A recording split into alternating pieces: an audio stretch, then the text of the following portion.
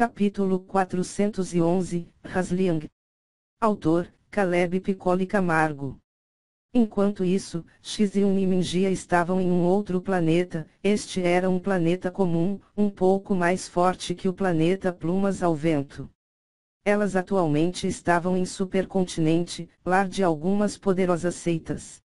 A ideia básica delas sempre foi a mesma: atacar seitas diabo, então causar o caos no continente e tirar a atenção das mudanças no que devido à criação das plataformas de teletransporte, bem como usar isso para alavancar suas forças, possibilitando assim que elas atingissem o Dao Santo. Era necessário que elas possuíssem poder suficiente para lutarem na linha de frente com Li Shang, somente ele não daria conta de tudo, por mais forte que fosse. Ele precisava de ajuda e suas esposas o ajudariam. Sendo assim, com o passar do tempo, todas elas atingiram o pico do Dao lendário e, por enquanto, o Hanshi e Liam Mei já haviam atingido o Dao Santo. Então, dessa vez, Mingia foi criar a plataforma e Xiziun ficou responsável por chamar a atenção. Ela procurou em algumas cidades a informação do local exato onde ficava a maior seita diabo deste continente. Todos falaram da seita Lua Sangrenta da Meia-Noite, a qual fica no extremo oeste do continente Jongo, cercada pela Floresta de Sangue, conhecida por suas árvores carnívoras e pelos pântanos criados com sangue de humanos e feras. Sendo assim, Xiziun partiu para esta localidade. Local governado pela matriarca Hasliang, uma poderosa cultivadora no pico da verdadeira rainha do Dao lendário.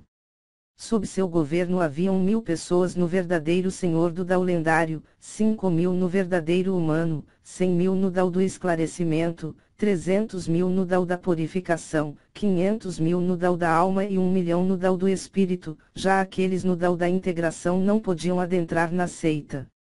Esta era a maior seita diabo de todo este supercontinente.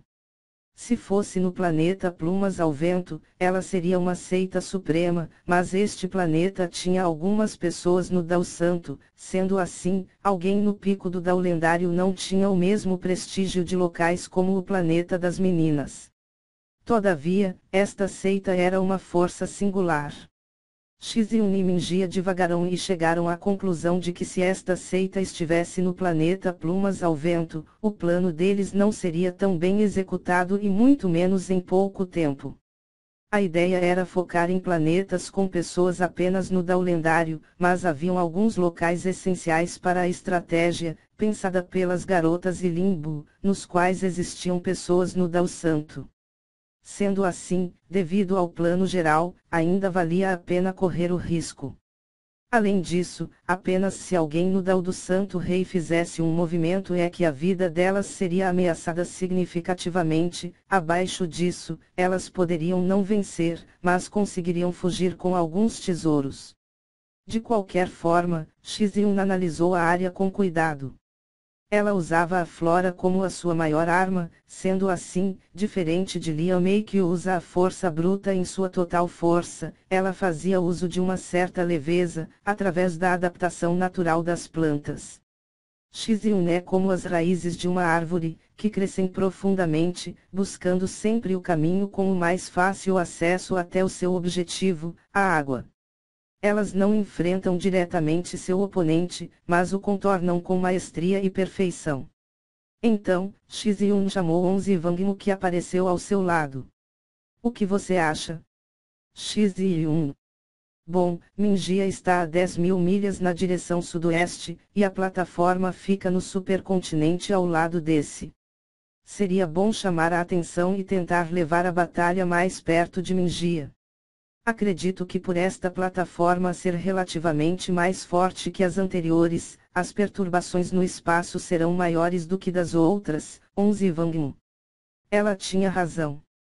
No primeiro planeta que elas foram, o planeta Floresta, elas acharam um local extremamente escondido, nas profundezas do continente, ideal para colocar a plataforma, dessa forma, elas não precisaram lutar naquele local.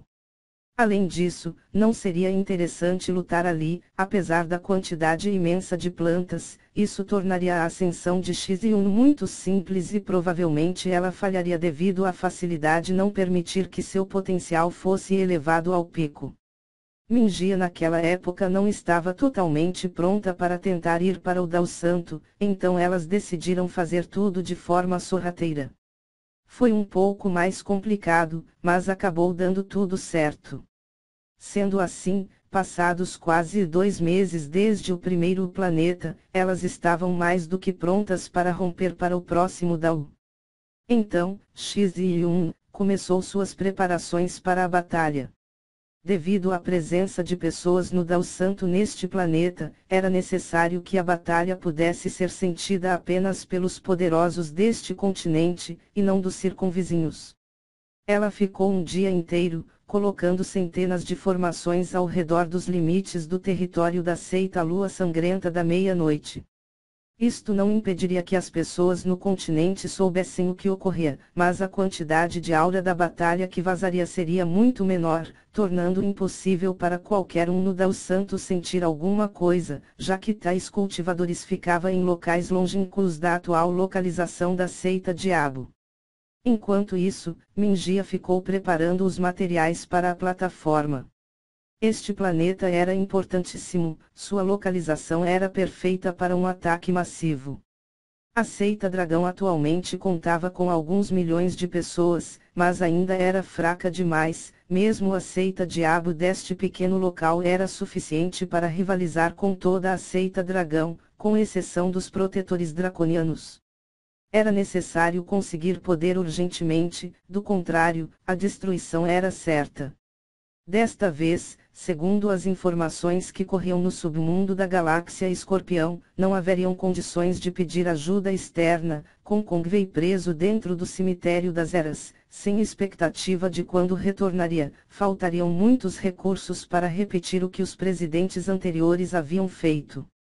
Além disso, devido à grande perda de riquezas que o confronto causou, o poder da galáxia Escorpião decaiu significativamente. Por enquanto, a única coisa que Mingia, Limbu, Li Shang, Wuhanxi, Liamei e Xiziun poderiam fazer era sobreviverem. Na pior das hipóteses, Li Shang estava certo de que ele poderia fugir e se esconder com suas esposas e mãe, bem como aqueles mais próximos a eles. Todavia, isso resultaria na destruição completa da galáxia. Ainda havia o fato de que o presidente da Organização de Aventureiros, o presidente da Organização de Domadores de Feras Mágicas e o presidente da Organização de Forjadores ainda não haviam feito movimentos significativos. Apenas a Associação Intergaláctica era relativamente ativa na galáxia como um todo. Li Shang ainda tinha muitas coisas para resolver, a cada passo que ele dava, ele sentia-se como dando dois para trás. Porém, quando ele olhava para suas amadas noivas, o seu coração se enchia de amor, elevando seu poder a novas alturas, afinal, nada supera a força dos sentimentos, ela é capaz de fazer o cultivador usar a própria vida para canalizar poder diretamente das leis da realidade, afinal, queimar sua vitalidade é ir contra uma lei da realidade, aquela que rege a vida. Porém, no momento, eles ainda precisavam tornarem-se mais fortes e posteriormente pensar no plano geral. X1 após terminar os preparativos, sentou-se em posição de lótus no topo de uma montanha. Ela lentamente meditou por 12 horas seguidas, esvaziando sua mente e entrando em um modo de extremo foco. Ao abrir seus olhos, ela parecia sentir a menor das brisas, o som da grama se movendo, o piar dos pássaros a dezenas de milhas dali, o cheiro da terra e o barulho dos córregos. Ela então se colocou de pé, pegou o objeto de comunicação feito por Li Shang e então enviou uma mensagem para Mingia. Vou começar, X e 1. Certo. Tenha cuidado. Ela é realmente perigosa, Mingia. Terei, X1.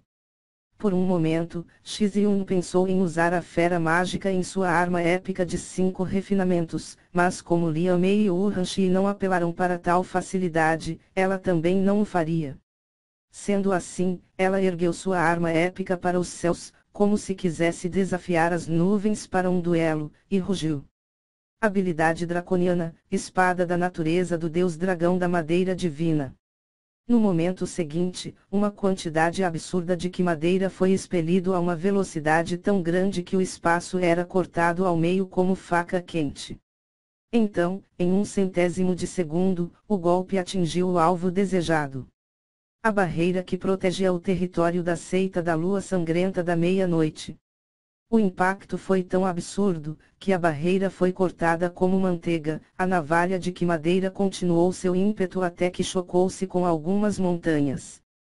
A explosão obviamente alertaria a todos os cultivadores diabo do local, e não demorou muito para que centenas de guardas soassem os alarmes por todos os lados. Então, rapidamente, um grupo de dez idosos fez seu caminho para o exterior do território, deparando-se com X-1 que flutuava nos céus, imponente e em perfeita sintonia com o mundo. Quem é você? Como ousas atacar nossa seita? Disse um dos idosos. Eles vieram com a intenção de trucidar o atacante instantaneamente, mas ao chegarem, viram o cultivo de X1 e decidiram chamar reforços, sendo assim, eles ficaram ganhando tempo com algumas ameaças e se pagando de justos, mesmo que fossem de uma seita que seguia o caminho do diabo. Eu. Olha. Podem me chamar de o fim. Nesse instante, ela reapareceu ao lado de um dos idosos, o qual não reagiu a tempo de ter sua cabeça cortada ao meio na horizontal. Os outros rapidamente reagirão, conjurando as feras mágicas em seus armamentos épicos. Monstros imensos, tão grande quanto montanhas foram conjurados. X1 rapidamente pegou a espada épica de cinco refinamentos e disparou contra os nove idosos restantes.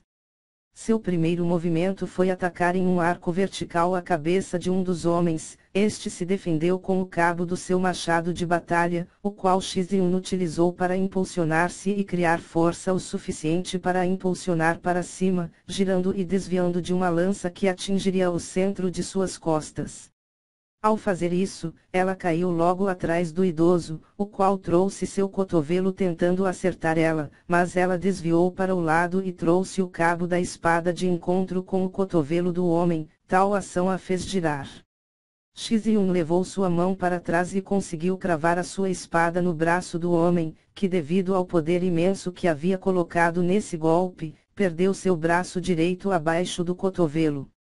A dor que ele sentiu foi colossal, suficientemente forte para criar uma pequena abertura, possibilitando que X1 cravasse sua arma na base do pescoço do idoso.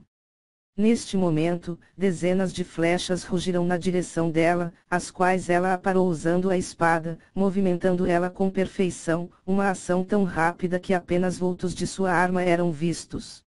Dois idosos conjuraram imensas esferas de rocha e as jogaram contra ela. X1 jogou diversas sementes no ar, as quais rapidamente cresceram, tornando-se cipós e videiras que rugiam contra as rochas como cobras em direção à sua presa. Qualquer uma delas individualmente eram fracas, mas em conjunto, foram capazes de parar o ímpeto das rochas.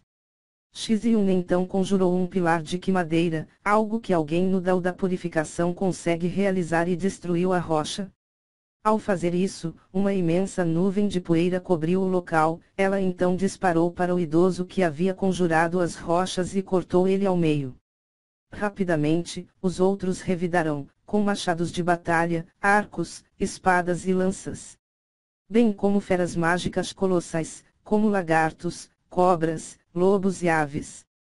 O poder de cada fera estava no Dao lendário.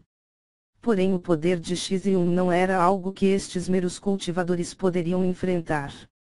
Então, assim que ela terminou de matar o último dos idosos, uma nova leva de pessoas apareceu no local. Dessa vez, havia uma mulher, alta, vestindo um longo vestido vermelho, no qual havia um belo cinto, se não fosse feito com ossos humanos, já seus cabelos eram vermelhos e chegavam até seus ombros. Os olhos da mulher eram negros e seus caninos pontiagudos. Quem é você? Disse Rasliang. Eu sou X1, X1. Rasliang olhou para os corpos em todos os lugares e franziu a testa. O que quer com a minha seita? Hasliang. Vocês são uma seita diabo, eu vim aqui para matar todos vocês, X e 1. Hasliang deixou um leve brilho maligno passar em seus olhos. Você está no pico do Dao lendário. Seu poder é realmente grande, mas realmente acha que pode derrotar toda uma seita. Além disso, você tem ideia de quem eu sou. Hasliang. Xiziun olhou para a mulher e seu corpo instintivamente entrou em posição defensiva, quando uma aura de morte e de pura maldade emanou do corpo dela. Você tem ideia da razão de me chamarem de a Dama da Morte Carmesim? Ao falar isso, o corpo de Hasliang tremeu. Os olhos negros se tornaram como poças de sangue, seus cabelos vermelhos cresceram até seus joelhos, seus caninos cresceram ainda mais, suas unhas tornarão-se garras, mais afiadas que aço puro. Devido ao aumento súbito de poder, a pele de Haslian ficou levemente avermelhada, suas veias saltaram e marcavam sua pele branca, como os rios na terra. Seu corpo inteiro exalava o ar mais mortal que poderia existir, Xiziun ficou surpresa. Essa aura é quase tão poderosa quanto a de Li Shang. O que pode ser ela?